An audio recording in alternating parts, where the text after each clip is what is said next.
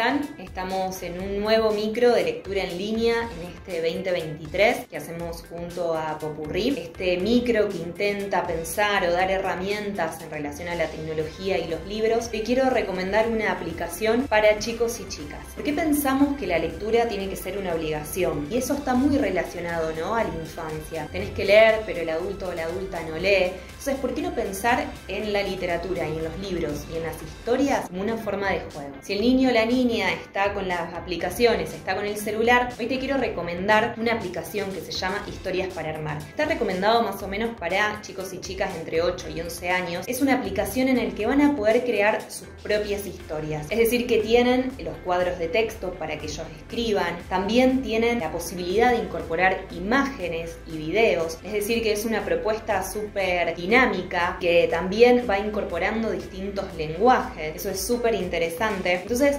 pensar cómo acercar la lectura y la imaginación, darle herramientas a los chicos y chicas para que puedan inventar sus propias historias. Tal vez en una familia, si hay un nene o una nena un poco más chicos, tal vez eh, algún adulto o adulta puede ayudarlos a armar sus propias historias, hasta se puede hacer un mini mundial para ir eh, haciendo algún tipo de competencia entre las historias que se van narrando. Creo que hay un montón de maneras para acercar a los chicos y chicas los libros, las lecturas y que incluso puede estar incorporados con la utilización de los celulares y la tecnología. Espero que les sirva, que les guste, que lo prueben. También si están del otro lado y lo prueban y les gusta, que, me lo hagan saber, intercambiemos pareceres y cualquier otra herramienta que quieran compartir estoy por acá. Ojalá les sirva que todos y todas podamos tener acceso a inventar.